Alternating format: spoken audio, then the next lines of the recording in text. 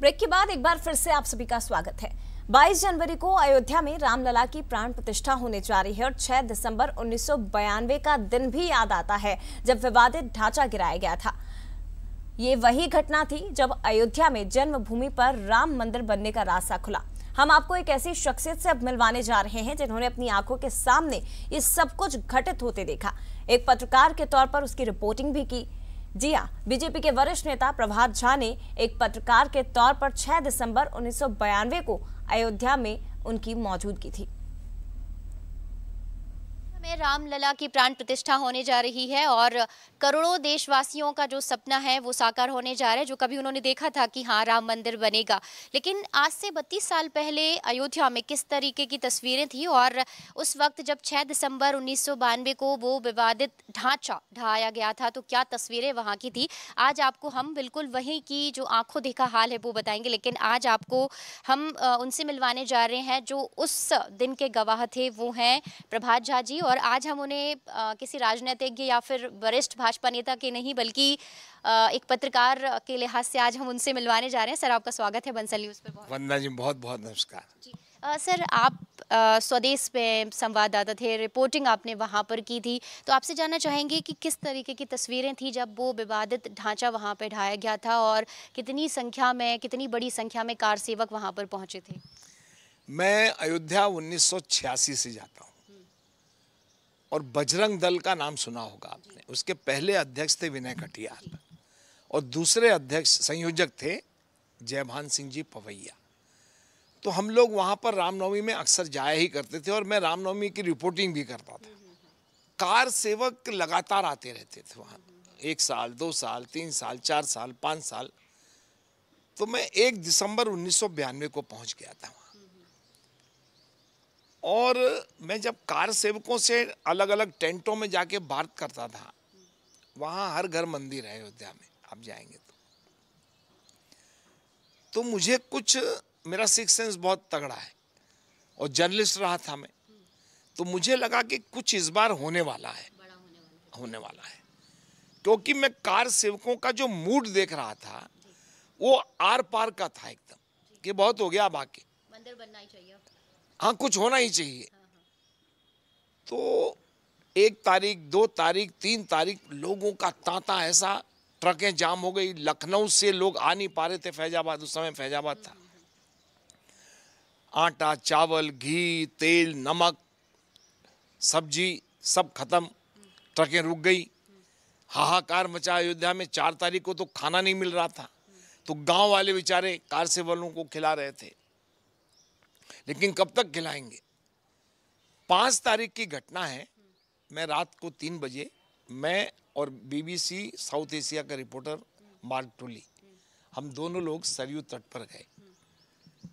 मेरी दोस्ती हो गई थी उस दिन उनसे।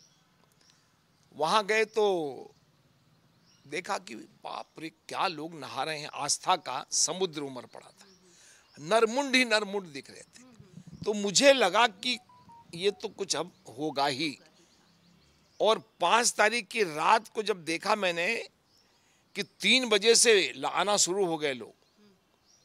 तीन मतलब छः बजे छः तारीख। और पाँच तारीख को मंच बनना शुरू हो गया था ढांचे के कुछ दूर 500 मीटर दूर। रिकॉर्ड करना और कैमरा रखता था मैं और कलम रखता था।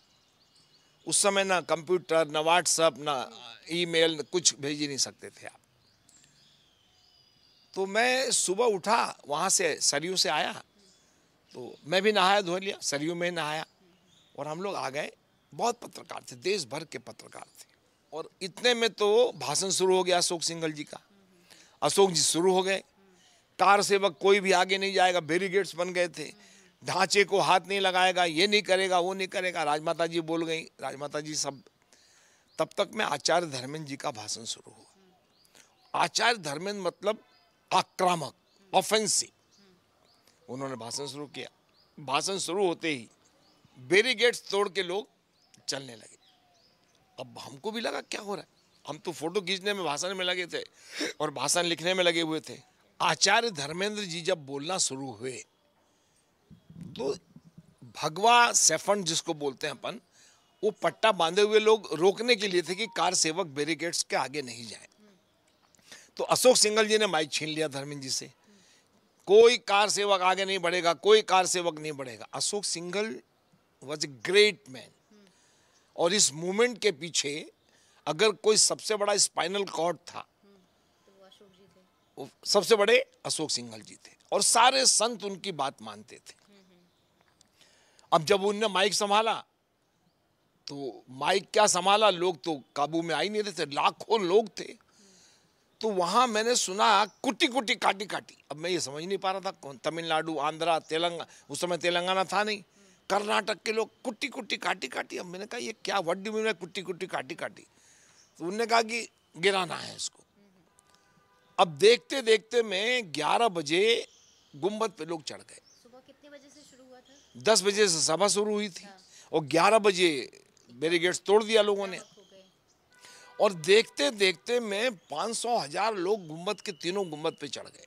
लोहे का जो पिलर होता है, उसको पत्थर से तोड़ते थे ऐसे, जिससे खोदने में आसानी हो। तो ऐसे हज़ारों लोग है के जो पिलर्स लगे हुए थे, बाउंड्री ढांचे के, वो सब निकाल लिया स्वयं, वहाँ कार से। ने अब निकाल के उसको तोड़ने लगे नीचे से। अब ऊपर जो चढ़ गए थे, उनको ऊपर से, नीचे से फेंक के दे रहे थे कि तुम ऊपर से तोड़ो। अब इस बीच में लोग गिरने लगे बहुतों के सिर फूट गए बहुत घायल हुए रोने लगे अस्पताल जाने लगे। देखते देखते ग्यारह बजकर पैंतीस मिनट पर पहला गुंबद गिर गया ढहा गया। अब और जोश आ गया लोगों को कि अब तो हटाओ ही रट्टा ही खत्म करो। कितने गुंबद थे सर वहाँ? तीन गुंबद थे। और रामलला उसमें विराजित थे एक गुंबद में। तो दूसरा गुंबद गिरा बारह बजे तीसरा गुंबद लगभग एक बजे रामलीला उसमें विराजित थी? नहीं उस बीच में रामलला जी को निकाल लिया गया। और एक पिंक कपड़ा लाया गया और एक ऊँचे स्थान पे उनको रख के उनका पूजा पाठ जो अभी भी पूजा करते हैं वही थे उस समय। क्योंकि रामलला की लड़ाई थी तो रामलला तो सुरक्षित रहे। अब लगा कि ये मलबा कैसे हटेगा? तो आचार्य धर्मेंद्र जी ने घोषणा कर दी कि जाओ एक एक ईंट ले जाओ अपने अपने घरों में गाँव में बताना। कि ढांचा गिर गया है, ये राम सिलाए हैं और हम अपने देखो ढांचा गिरा कर आए हैं, ढांचा ढहा कर आए हैं। और एक आधे पौन घंटे में पूरा मलबा साफ़ छोटे छोटे बच्चों को लेके माता जी ऐसे लेके जा रहे थे जैसे राम लला का मतलब एक निशानी है, ये लेके गाँव में बताएँगे, देखो ढांचा गिर गया है।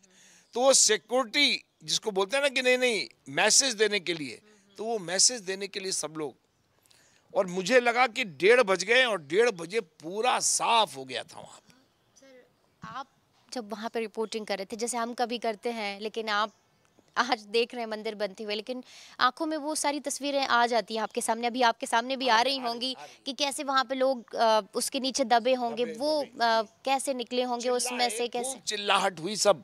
मैंने क्या किया था लगातार जा रहा था। तो वहाँ एक इमरजेंसी ड्यूटी होती है इलेक्ट्रिसिटी और टेलीफोन वालों की, कि कुछ भी हो जाए। तो मैंने उस समय एसटीडी बूथ होते थे तो मोबाइल तो था नहीं, मेल था नहीं, कुछ नहीं था।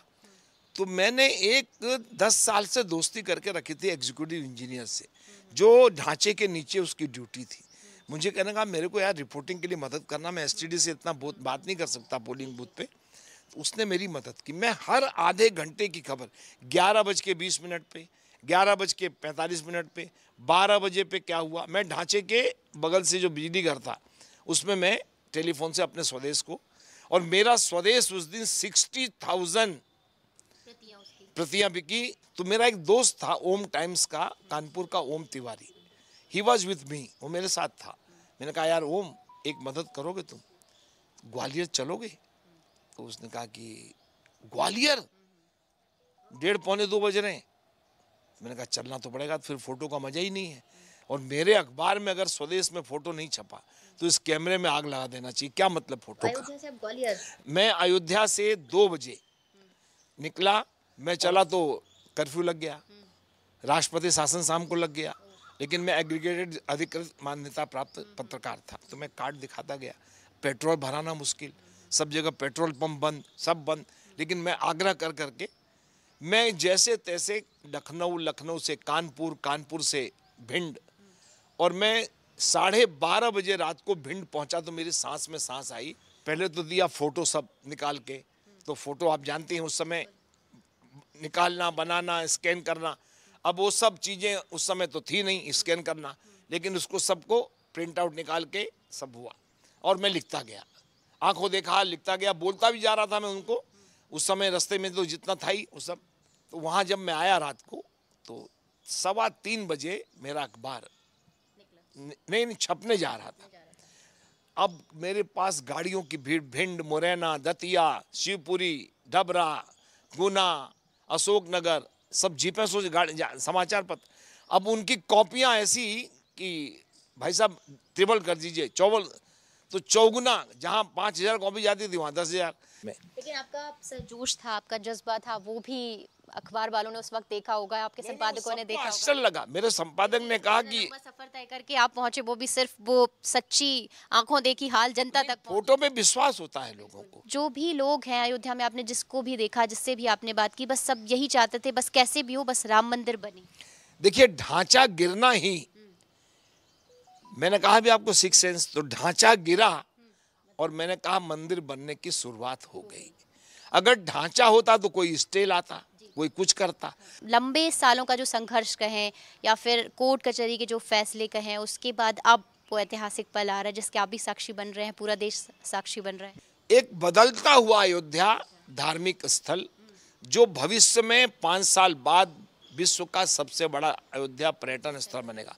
जैसे सब विश्व हिंदू परिषद राष्ट्रीय स्वयंसेवक संघ की मेहनत को कोई भूल नहीं सकता।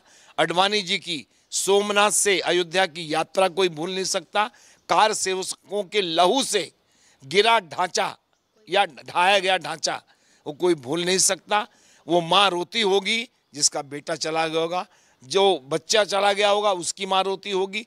क्या जुनून था? और आज जिस युग में भगवान आए थे राज तिलक कराने के लिए वनवास काट के, त्रेता युग में। आज वही लोगों की खुशी है कि भगवान राम आ रहे हैं। उस समय वो सशरीर आए थे, इस समय वो एक मूर्ति के रूप में आ रहे हैं। ये देखकर लोग आह्लादित हैं। सारे संत प्रसन्न हैं। भाजपा के पूर्व प्रदेश अध्यक्ष प्रभात झा हैं, वरिष्ठ नेता हैं, लेकिन एक पत्रकार हैं जिन्होंने अयोध्या में जब विवादित ढांचा ढाया गया था, उसकी आँखों देखा जो हाल है, वहाँ का हमें बताया और अब वो ये कह रहे हैं कि अब उसके बत्तीस साल बाद बिल्कुल वैसी ही तस्वीरें हैं, लेकिन ये तस्वीरें थोड़ी सी अलग हैं, क्योंकि पहले ढांचा ढाया गया था इस उद्देश्य के साथ कि हाँ मंदिर बनेगा और उसी समय ये तय हो गया था कि मंदिर बनेगा। हालाँकि इंतज़ार थोड़ा सा लंबा ज़रूर हुआ, लेकिन अब वो क्षण आ गया है जब प्राण प्रतिष्ठा होने जा रही और पूरा देश इसका साक्षी बनने जा रहा है। कैमरामैन नागेंद्र के साथ रंजना दुबे, बंसल न्यूज़, भोपाल।